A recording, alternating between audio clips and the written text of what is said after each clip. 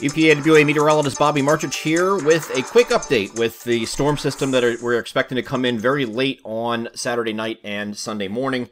We'll bring a quick shot of snow and accumulating snow, mainly focused on our southeastern areas.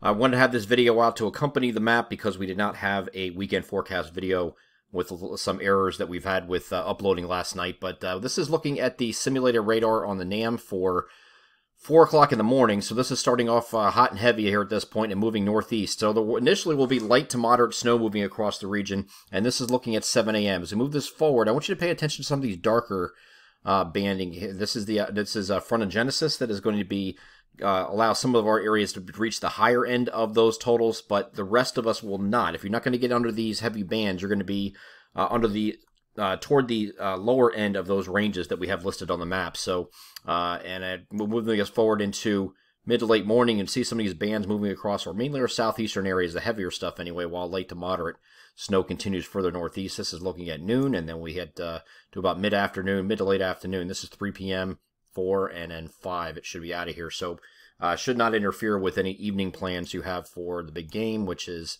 right here. This is looking at uh, around the time that uh, the uh, the game starts. So uh, this should be out of here before then. Give you a little bit of time to clean up whatever does fall. But I wanted to point out the ranges here because when we look at our map, it has uh, a swath of five to nine here. Now I understand that a lot of people see five to nine and they expect nine. That do not expect nine in this uh, region here.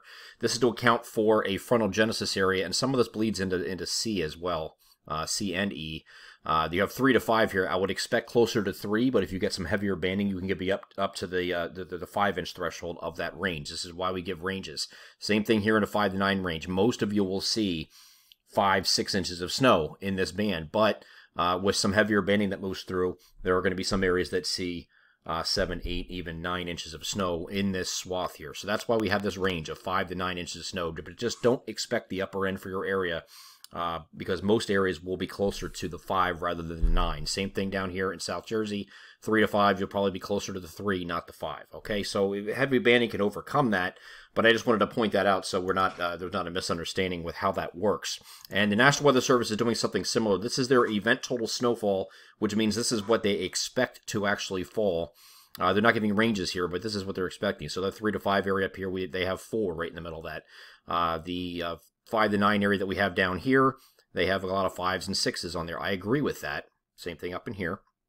Uh, but if we look at their upper end, you're seeing a lot of eights and nines here. This is the absolute most that could fall, and that's if you get that heavier banding and the extra added lift. So that's something we're going to be watching, and that's why we have a range of between five and nine for that jackpot range. But just don't expect uh, this.